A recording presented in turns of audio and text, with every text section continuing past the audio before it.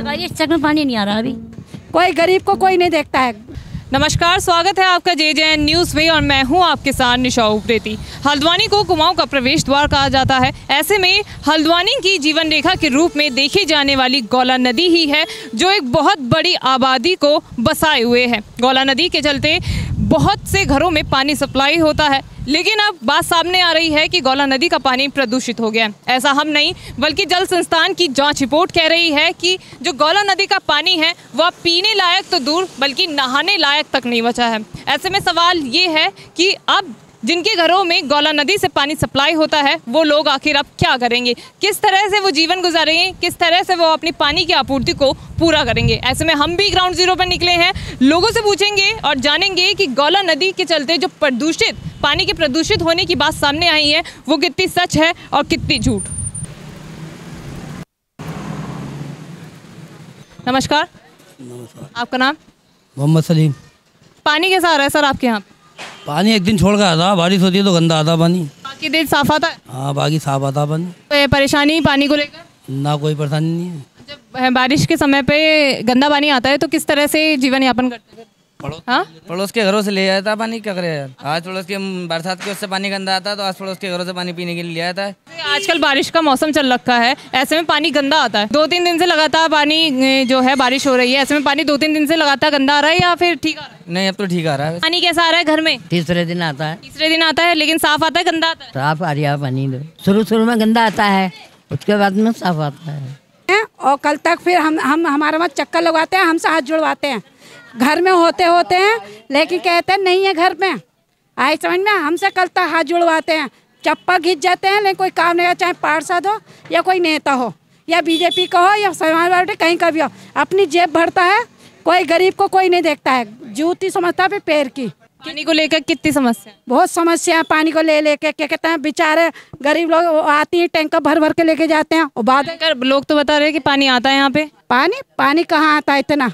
जब जब जो कहते हैं आप लोग कहाँ होते हैं जो होता है वो बगीचे का वो जब खा खराब हो जाता है बीच बीच बाईस बाईस दिन बच्चे बेचारे पानी भर के लाते हैं सड़क पर जब आप लोग कहाँ होते हैं या नेता लोग कहाँ होते हैं जिस दिन बताऊँ जब खराब होती है टंकी या मोटर खराब होती है। पानी साफ़ आ रहा है गंदा आ रहा है? गंदा आ रहा बहुत गंदा आ रहा पानी बिना छान के उबला के पीने का ये बीमारी जो हो रही है इसी बदौलत है। मतलब बच्चों को बीमारी हो रही है गंदे पानी बिल्कुल हो रही है बुखार है और ये बुखार है ये सिर में टांगों में पेट में दर्द ये सब पानी की वजह से ही है।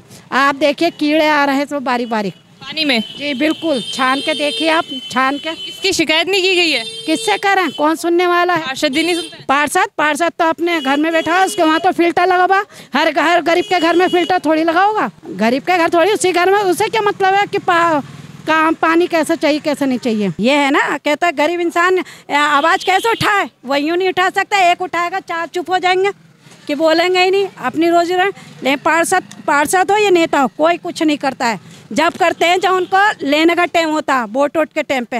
हाथ जोड़ते हैं कल को फिर हमसे हाथ जोड़वाते हैं। कोई काम कोई ढंग का नहीं। कितने कितने समय से समस्या बनी? काफ़ी टाइम से समस्या बनी हुई है। कहाँ तक आपको बताया दिया जाए? जब ये वोट लेने आते हैं तब नहीं कहा जाता है कि पहले पानी ठीक करो तभी हम वोट देंगे। यही कहा जाता है। फिर कुछ कुछ टाइम काम करा दिखा दिया काम करा फिर एक भरोसा हो जाता है ये काम कर रहा उसका जब जीतने वाला काम रुक गया खत्म। तो कोई काम नहीं हुआ। कोई काम नहीं होता है यहाँ पर। जब भी होता है जब बता कोई उन्हें कोई मतलब होता है जब साफ़ सफ़ाई दिखाने के लिए।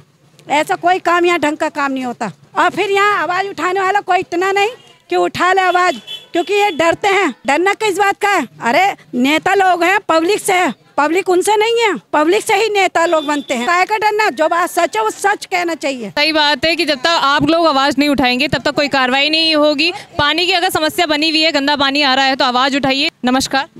नमस्कार। पानी कैसा आ रहा है? आंटी आपके घर में?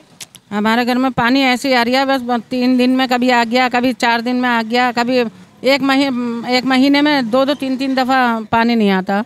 पानी रोज आता है? वैसे आ भी जाता है और दो दो चार चार दिन नहीं भी आता है। अभी जो नई लाइन लगाई है इस तक में पानी नहीं आ रहा अभी। अच्छा नई लाइन लगी है? जी।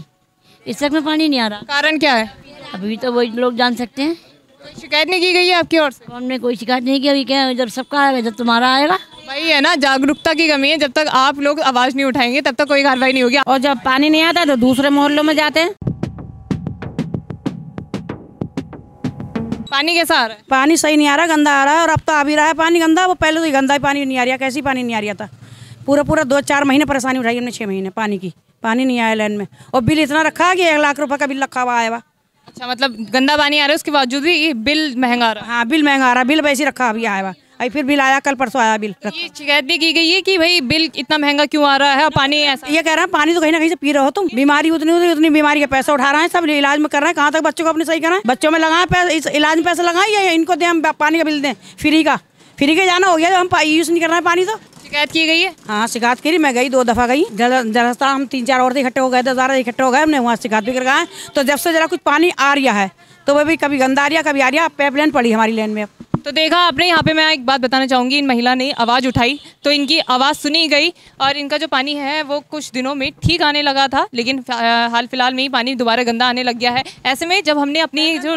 रिपोर्ट बनाई है इसमें हमें एक बात जानने को मिली है कि यहाँ के लोग जागरूक नहीं है सवाल नहीं उठा रहे हैं प्रशासन से सवाल नहीं पूछ रहे हैं कि पानी गंदा आ रहा है तो पानी साफ़ कब तक आएगा और जो नई पाइपलाइन यहाँ पे बिछाई गई है, उसमें पानी क्यों नहीं आ रहा है?